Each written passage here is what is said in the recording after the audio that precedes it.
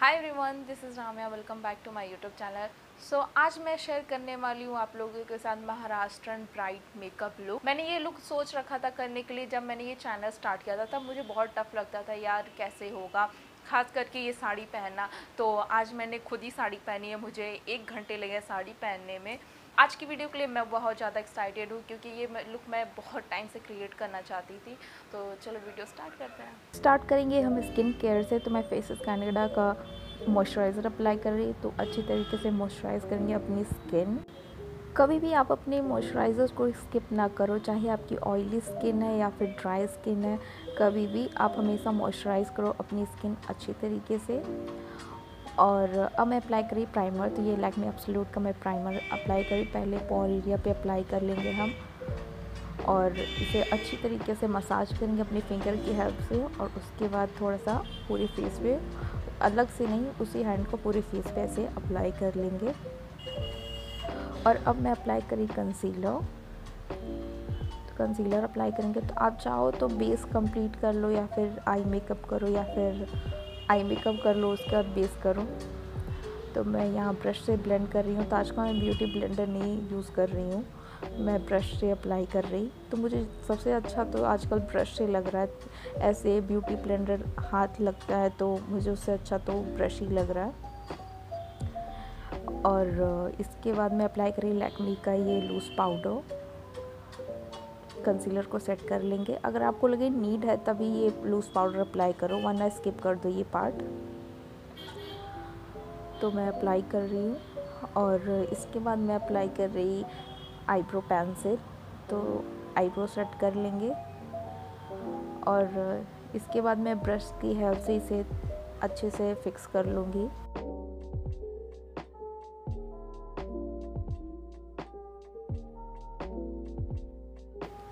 मैंने लिया यहाँ पे ब्राउन आई शेडो और इसे मैं ब्लेंडिंग ब्रश की हेल्प से अपने आई क्लेश पे अप्लाई कर रही हूँ। आप चाहो तो कोई और भी आई शेड ले सकते हो। तो मैंने चूज़ किया है ब्राउन आई शेडो ताकि, क्योंकि मैं गोल्डन आई मेकअप करने वाली हूँ जो कि मेरी लुक के साथ मैच कर रहा है काफ़ी तो इसलिए। और अब मैं ले रही हूँ यहाँ पे ब्लैक आई शेडो और मैं सेम ब्रश की हेल्प से मैं थोड़ा सा अप्लाई कर रही हूँ एक स्मोकी लुक देने के लिए। आप चाहो तो ब्रशेस चेंज भी कर सकते हो। अगर आप बिगनर्स हो तो आप ब्रशेस चेंज करके अप्लाई करो क्योंकि सारे आई शेडो मिक्स हो जाएँगे। इसलिए आप अलग अलग ब्रशेस यूज़ करो। अगर आप चाहते हो न्यूड आई मेकअप तो मैं सिंपली बोलूँगी कि आप कंसीलर के बाद हल्का सा कोई लाइट शेड जैसे कि लाइट ब्राउन शेड अप्लाई कर लो और उसके बाद आप हल्का सा हाइलाइटर अप्लाई कर लो और स्किप कर दो बाकी पार्ट मतलब कोई आई वगैरह है भी। मैं यहाँ पे ले रही गोल्डन आई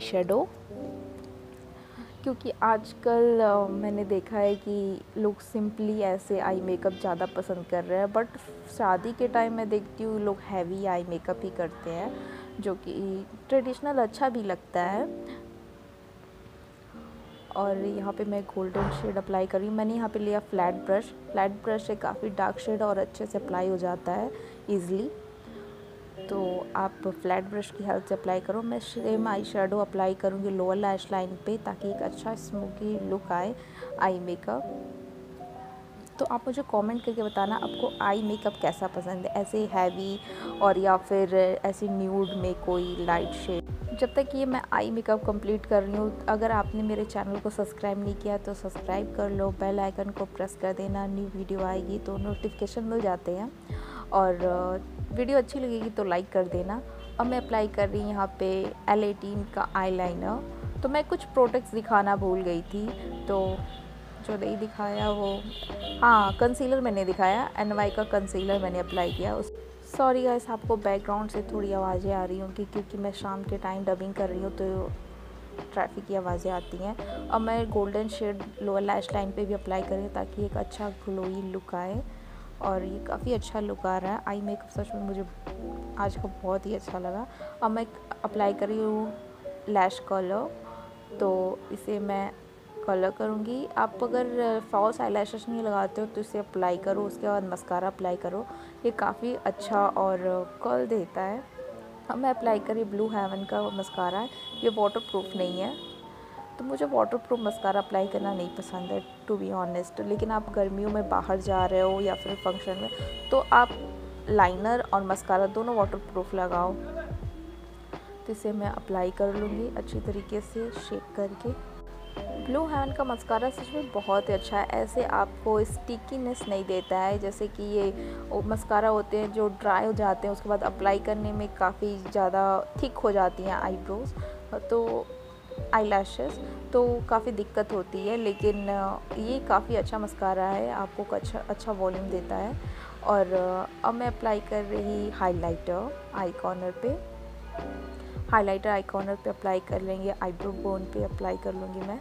आप चाहो तो आईब्रो बोन पे स्किप कर सकते हो, लेकिन अप्लाई कर लो, क्योंकि एक अच्छा और ग्लैम लुक आता है शाइनी लुक एंड uh, अब मैं अप्लाई करें फॉल्स आई लैशेज़ तो ऐसे मैंने लगाने की कोशिश की बट मैं लगा नहीं पाई. उसके बाद मैंने अपने हाथों से अप्लाई किया क्योंकि मैं फॉल्स आई लैशेज़ अपने हाथों से ही अप्लाई कर पाती कुछ प्रोडक्ट ऐसे होते हैं जो मैं अपने हाथों से अप्लाई कर पाती हूँ.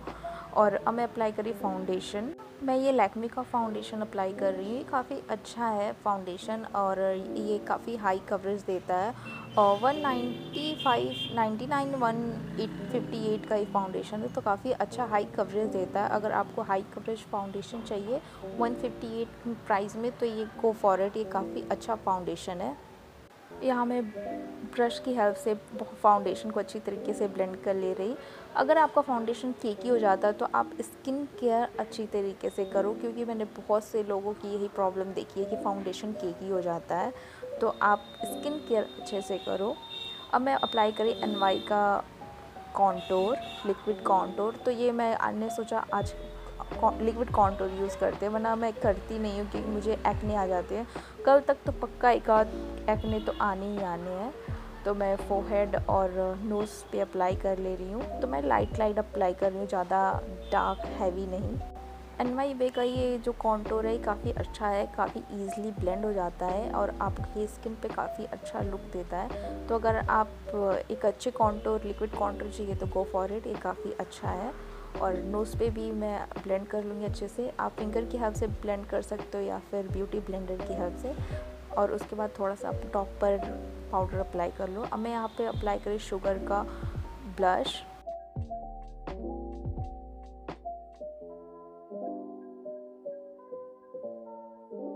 आप लोग मुझे कमेंट करके बताना कि नेक्स्ट मैं वीडियो किस टॉपिक पे बनाऊँ और मुझे अच्छा लगेगा उन टॉपिक्स पे वीडियो क्रिएट करना। तो अगर आप चाहो तो मुझे सजेस्ट कर सकते हो कमेंट बॉक्स में। अब मैं अप्लाई कर रही हाइलाइटर तो मैं ये दूसरा शुगर का हाइलाइटर है। दूसरा हाइलाइटर पहले से इसमें तीन शेड है। तो एक तो टूट गया है जैसा कि आप लोग पैलेट में देखा होगा, एक टूट गया है और बाकी तीन दो हैं। तो ये मैंने न्यू निकाला है क्योंकि वो ख़त्म हो गया है पुराने वाले का। और इसे मैं फोरहेड वगैरह पे अप्लाई कर लूँगी। अब मैं अप्लाई करूँ मेकअप फिक्सर ये स्विस ब्यूटी का मेकअप फिक्सर था और अब मैं अप्लाई करी बिंदी, महाराष्ट्र बिंदी, जो कि ये आप लोगों ने देखा होगा। और उसके बाद मैं अप्लाई करी लैक्मी और ब्लू हेवन की लिपस्टिक पता नहीं क्यों कैमरा फोकस नहीं कर रहा था। और इन दोनों को मिक्स शेड में बनाऊँगी ऐसे। और दोनों शेड को मैं अप्लाई करूँगी ताकि एक डार्क चेरी लुक आए। और ये मैंने अप्लाई कर लिया लिपस्टिक और इसके बाद मैं पहन रही अपनी ज्वेलरी। तो मैंने ये महाराष्ट्रन ज्वेलरी मंगाई है। काफ़ी ब्यूटीफुल ज्वेलरी है और महाराष्ट्र नथ और मैं बाकी के बैंगल वगैरह पहनूँगी और ये हुआ मेरा makeup complete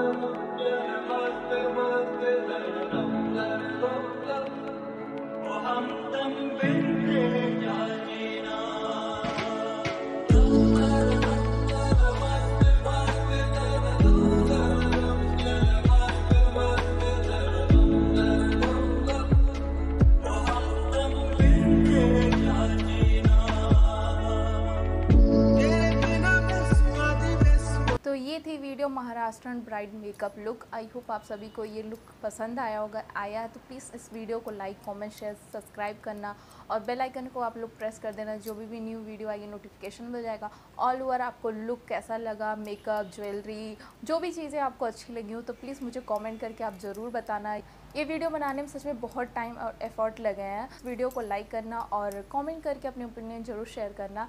तो कैसी लगी वीडियो ज़रूर बताना। तो मिलते हैं नेक्स्ट वीडियो में। बाय